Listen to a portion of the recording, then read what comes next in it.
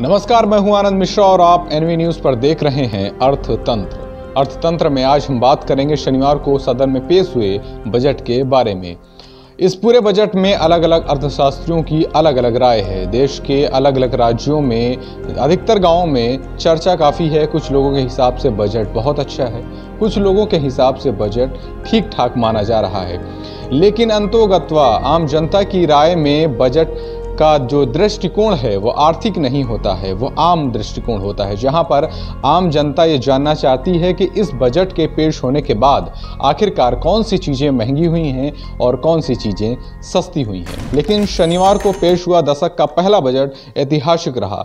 दो घंटे इकतालीस मिनट यानी अब तक के सबसे लंबे भाषण में वित्त मंत्री निर्मला सीतारमन ने टैक्स स्लैब घटाया पर कुछ शर्तें भी रखी। करदाताओं को विकल्प दिया कि वे नए और पुरानी कर, कर व्यवस्था में कुछ चुनाव कर सकते हैं। इस बजट के बाद पूर्व प्रधानमंत्री मनमोहन सिंह के आर्थिक सलाहकार रहे संजय बारू ने कहा कि यह बजट पिछले बजट से ज़्यादा प्रैक्टिकल है। व्यक्तिगत आयकर में थोड़ी और कटौती किए जाने से अर्थव्यवस्था में मांग की कमी दूर हो सकती है। पिछले कई महीनों से भारतीय अर्थव्यवस्था इसी समस्या से जूझ रही थी। ऑटो सेक्टर में बिक्री में बीते साल में बहुत ही ज़्यादा गिरावट नज़र आई और कई ऐसे सेक्टरों में भी सुस्ती का दौर जारी रहा।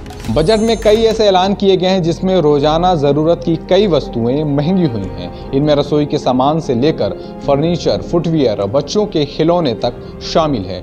वहीं स्पोर्ट्स, गुड्स और माइक्रोफोन जैसे आइटम सस्ते हुए हैं। रसोई में महँगाई का तड़का। हम आपको बताते हैं कि इस बजट के पेश होने के बाद किन किन वस्तुओं की कीमतों में बढ़ोतरी दर्ज की गई है। किचन इंग्रेडिएंट्स, यानी कौन कौन सी सामान महँगी हुई हैं? तेल, बटर घी, पनीर, मक्का, सोया, फाइबर और प्रोटीन और अखरोट जैसी चीज़ों में महँगाई का तड़का लग गया है। किचन अप्लाइंसेस यानी water filter, food grinder, oven cooker, griller और रोस्टर जैसी चीज़ों में बढ़ोतरी हुई है। सजना सवरना अब और भी ज़्यादा महँगा हो गया है। यानी कि कंघा, हेयर पिन, कर्लिंग पिन अब महँगी होगी। इसके अलावा बिजली की प्रेस भी महँगी हो जाएगी। लाइफ स्टाइल से संबंधित चीज़ें भी अब महँगी हो जाएँगी। यानी कि water heater, furniture lamp light fitting, खिलौने, घंटी, टेबल फ़ैन और सीलिंग फ़ैन जैसे सामान भी अब महँगे हो जाएँगे। और कौन से सामान महँगे होंगे, इनके बारे में भी हम आपको बताते हैं। यानी कि मेडिकल इक्विपमेंट शीशे का सामान ट्रॉफी, सिगरेट, तंबाकू जैसी चीज़ें भी अब पहले से कहीं ज़्यादा महँगी हो जाएँगी। इसके अलावा रत्न यानी आभूषण भी पहले से कहीं ज़्यादा महँगे होंगे। कौन कौन से सामान इस बजट के पेश होने के बाद सस्ते होंगे, उन पर भी एक नज़र डालते हैं। न्यूज़ प्रिंट यानी कि जो पेपर है, उसके हल्के होने की वजह से न्यूज़ प्रिंट का सामान अब सस्ता हो जाएगा। स्पोर्ट्स गुड्स, माइक्रोफोन, इलेक्ट्रिक वाहन, रॉ शुगर और प्लास्टिक केमिकल जैसी चीज़ें अब पहले से थोड़ा सस्ती हो जाएँगी।